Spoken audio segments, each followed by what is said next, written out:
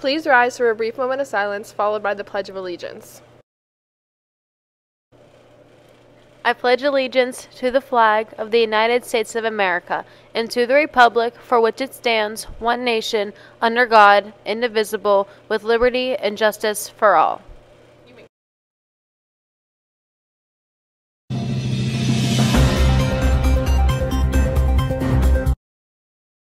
Good morning, New Brighton. Today is Thursday, January 20th, 2022.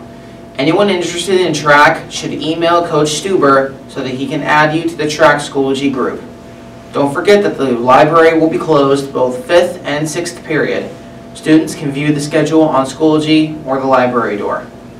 Rosalind Candy is looking for after-school help in the following areas. A store clerk position open Monday through Friday from 3 p.m. to 6 p.m. on Saturdays and from 10 a.m. to 6 p.m.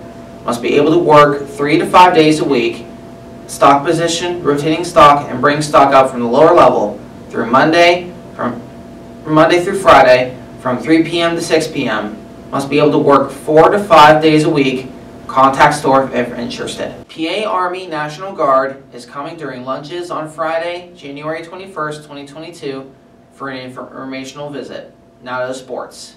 Good luck to the girls basketball team at their away game against Sewickley Academy tonight. Good luck to the hockey team at their home game against Quaker Valley tonight at 6:45 at Brady's Run. Good luck to the swim team at their away meet at, against Highlands tonight at 6 o'clock. Now to weather. Today's weather is cloudy with a 10% chance of precipitation with a high of 30 and a low of 9. Now back to the news.